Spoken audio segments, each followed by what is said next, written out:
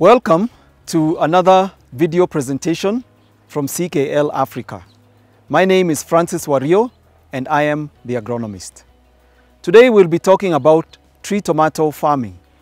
Tree tomato is also known as tamarillo, originated from South America but has been in Kenya since the 1800s.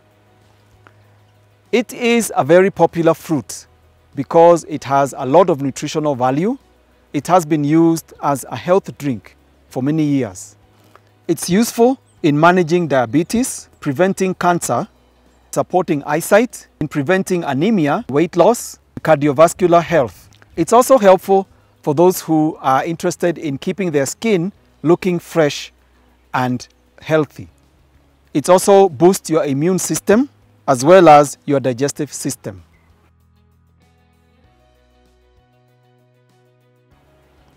There are several varieties of tree tomatoes which are grown in Kenya.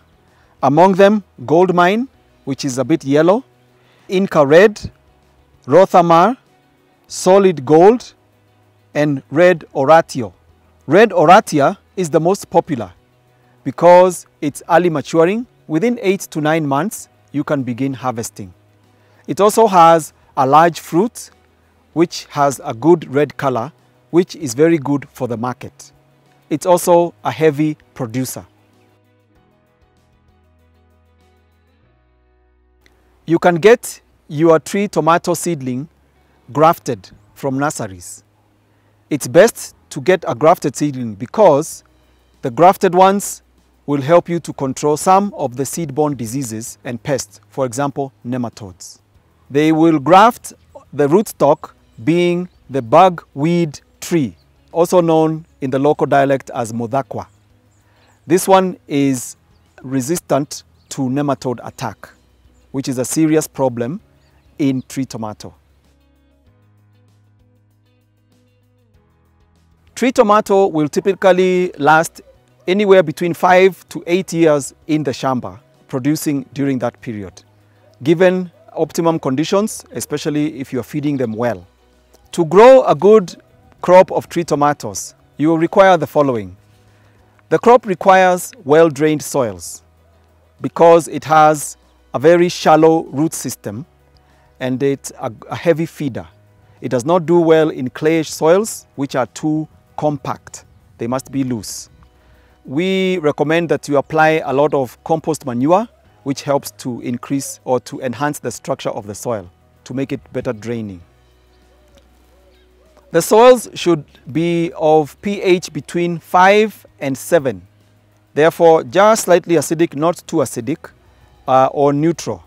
So we recommend that you do a soil analysis, get the right pH, get the right soil structure, get the right mineral content, so you can know how best to manage those soils and to give your crop the best nutrition possible. Your tree tomato will require enough water. The tree tomato is not drought resistant. It does not do well during dry periods. So make sure you have enough water to irrigate your crop. Do not over irrigate because the tree will not withstand waterlogging conditions. Because the root system is very shallow, make sure that you water enough. You can irrigate maybe two or three times a week. Drip irrigation is recommended because it supplies just the right amount of water without giving too much. The tree tomato does better in cool conditions. Between 15 and 20 degrees centigrade is best for the tree tomato. For example, the highland areas in Nyahururu, in Narok, and other places where it's a bit cold. It does not do well in hot, dry areas because it's not drought resistant. The tree tomato is a heavy feeder. Therefore, it requires good fertile soils and therefore apply manure as often as possible. Apply manure that is well rotted to prevent possibility of diseases entering into the crop. When planting your tree tomato, use a spacing of 3 meters by 3 meters. Cut your hole 2 feet by 2 feet by 2 feet and ensure that the hole is square. Then you can mix your topsoil and well-rotted manure into the hole and plant your tree tomato seedling in the hole. You can apply some lime to the hole and some people will apply wood ash because that helps to prevent some of the fusarium diseases which could be in the soil.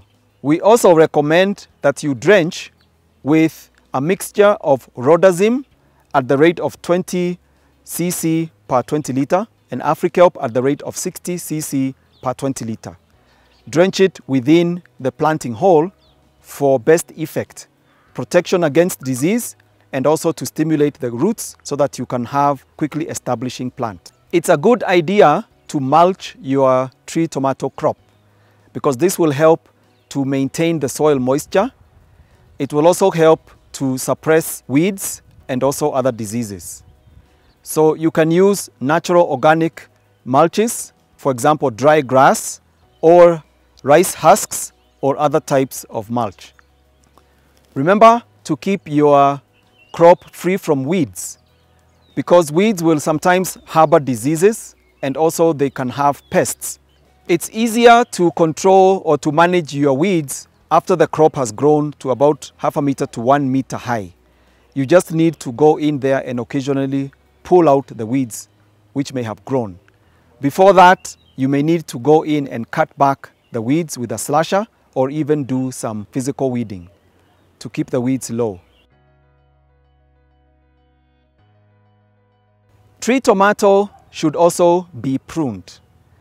And the objective of pruning is to remove any of the suckers to enable the crop to grow in an upward position. You can also remove any of the shoots which could be growing from the rootstock because you don't want the rootstock Mudhakwa tree to dominate the tree tomato. Some people will also prune by removing the apical bud at about 0.5 to 1 meter stage of growth. And then the, the tree will grow in a lateral position with two or three branches. Later on, these can be brought upright and tied to a stump so that they will grow up and then again laterally.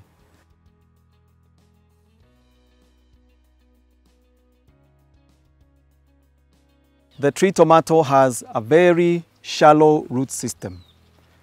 And so you need to take extreme care on the roots. And sometimes the tree may collapse. You can help the tree by staking to support it so that it does not collapse.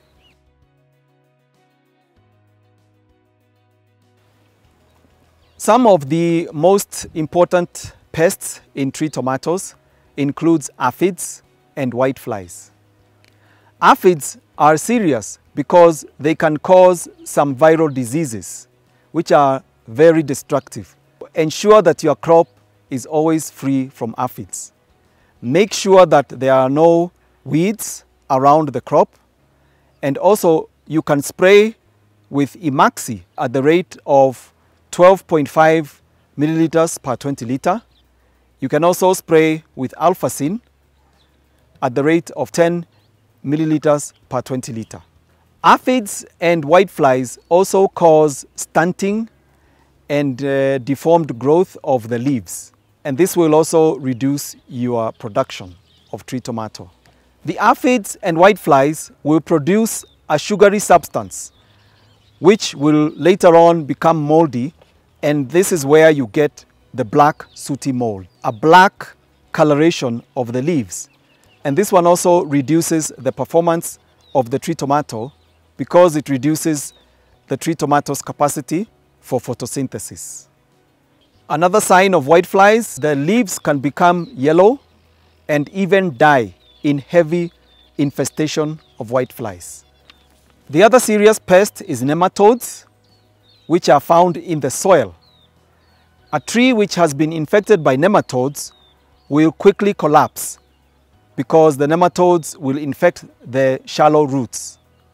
Ensure that you plant using grafted seedlings which are grafted with Mudhakwa tree which is resistant to these nematodes. Roots which are affected by nematodes will be deformed, they will look weak and they will also have small pimples which will cover the whole root system. That's how you can tell if your field has nematodes. Cutworms can also affect your seedling at the early stage. So make sure you are controlling your cutworms. You can apply jackpot to the soil during planting to ensure that the cutworms around the area of the root, the stem are controlled.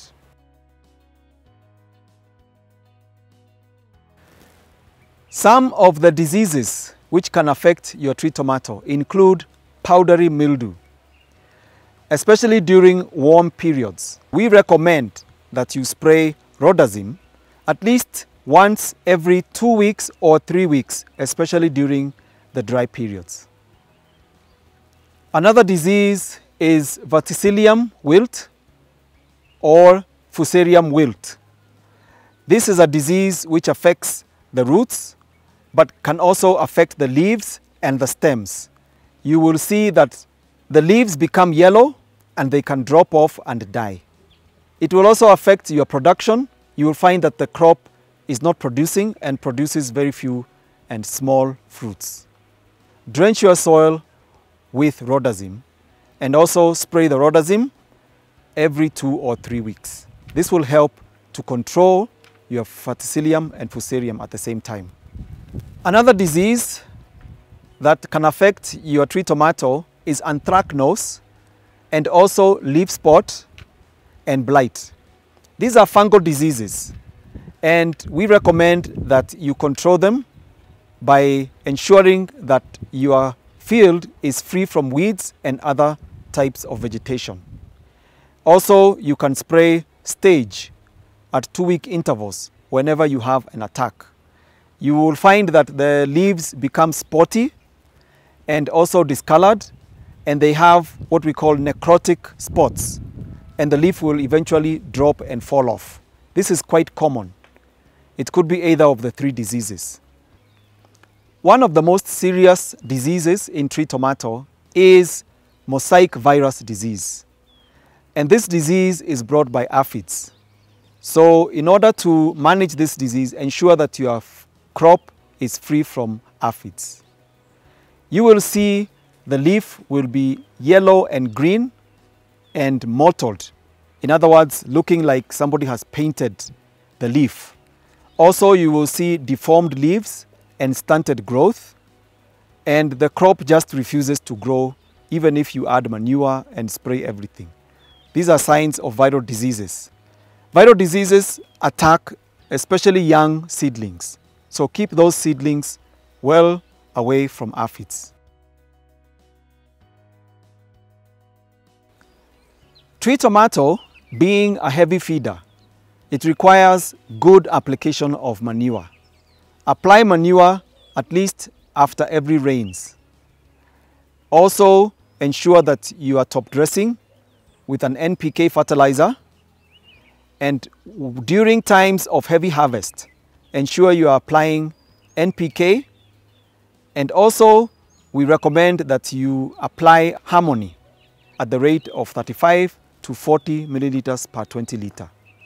This will help to keep the plant continuously producing and also to manage the harvest shock so that your plant will remain healthy and continue producing as much as possible.